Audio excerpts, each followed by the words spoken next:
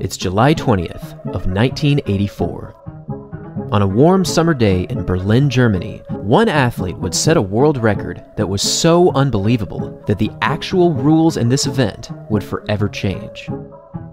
In the men's javelin, Uwe Hohn from Germany set an unprecedented world record, throwing the javelin 104.80 meters, breaking the previous world record by just over 5 meters, which translates to just over 16 feet. This was one of those moments that shook the entire foundation of track and field, because compared to the previous world record, this throw represented a massive improvement of 4.9%, which to this day places this moment as the second greatest world record improvement in any event in history, only falling behind the great Bob Beamon's long jump from the 1968 Olympic Games. To say that this throw was unparalleled would still be an understatement, with a powerful run up, a perfect angle of release, and one of the fastest follow throughs that you'll ever see in any throwing discipline. Hohn's form in this moment was unmatched, and even in the eyes of the announcers at the time, they already understood that this world record just might stand forever. Here's a record that may never be broken. Uwe Hohn of East Germany shatters American Tom Petranoff's world record by over 16 feet. 343 feet, 10 inches. Watch where it lands, just inside the stadium. After this, the weight of the javelin will most assuredly be increased. The stadium are not big enough to hold the javelin anymore. This really was a moment of pure athletics perfection, and if we fast forward some 38 years later, this world record still stands. However, this incredible record stands for a rather unique reason, which is much different from any other world record throughout track and field history. Soon after Hohn's throw back in 1984, the actual javelin instrument itself changed in overall form, a decision largely influenced by Hohn's world record that nearly exceeded the throwing area. Now, contrary to popular belief, Hohn's throw wasn't the only reason why this change was implemented. Even before this amazing world record was achieved, track and field's governing body had already been discussing moving the javelin's center of mass forward by 4 centimeters. There's going to be some changes in this event, the javelin, next year, because of a few things that have happened over the last few years. First, a couple of years ago, Tom Petranoff of the United States threw it 327 feet. Then last year, Hohn from East Germany threw over 340 feet. Well, the IAAF is afraid they're going to throw it right out of the stadium, so they decided to change the javelin.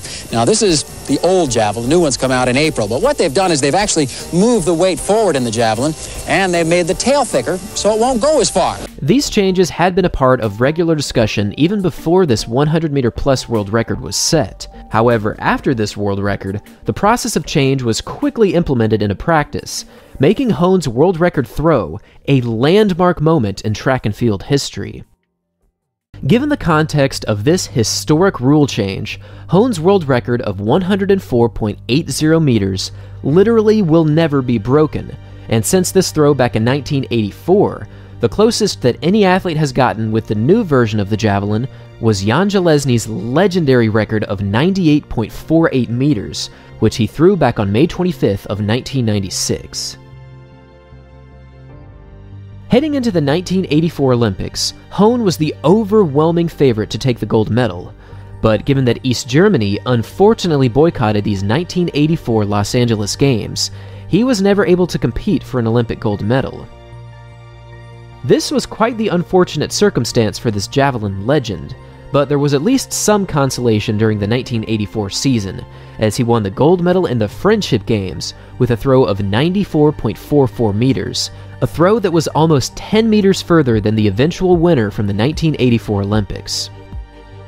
For many around the world, Hohn's 94.44 meter victory was the equivalent of an Olympic gold medal placement, making this 1984 season one of the greatest ever for any athlete, not just because he shattered the world record and literally changed the rules in this event, but also because he maintained a completely undefeated record, throwing over 90 meters for each and every competition that he entered.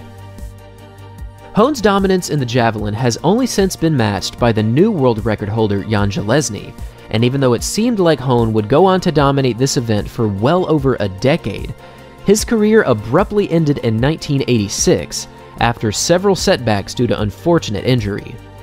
Since becoming the only man in history to throw the spear beyond 100 meters, Hohn has since become a javelin coach, and just like his previous days of competition, he has also seen worldwide success in this endeavor as well, as his own athlete Neeraj Chopra won the Olympic gold medal in this event in the 2020 Tokyo Olympics, winning the javelin with a throw of 87.58 meters, which made him the first and only Indian athlete in history to win an Olympic gold medal in track and field. Throughout the deep history of track and field, many world records have shifted the landscape of their respective events. However, none have quite had the effect as Uwe Hohn's world record from 1984. Thanks for watching, everyone, and as always, until next time.